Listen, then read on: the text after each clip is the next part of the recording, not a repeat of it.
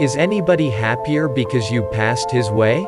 Does anyone remember that you spoke to him today?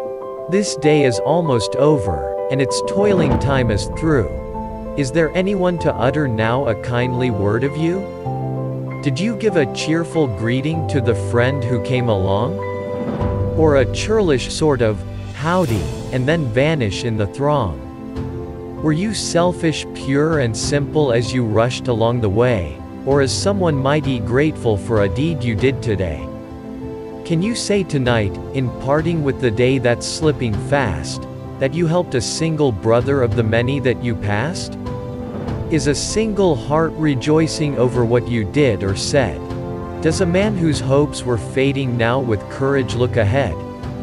Did you waste the day, or lose it? Was it well or sorely spent? Did you leave a trail of kindness or a scar of discontent?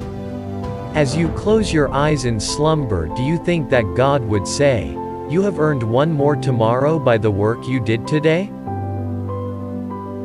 I'd like to be the sort of friend that you have been to me.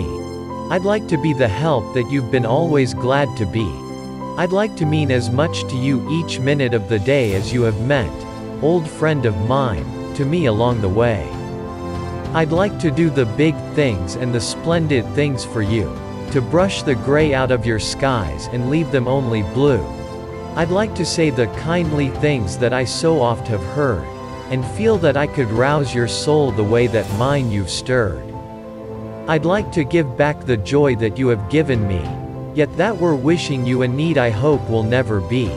I'd like to make you feel as rich as I, who travel on undaunted in the darkest hours with you to lean upon.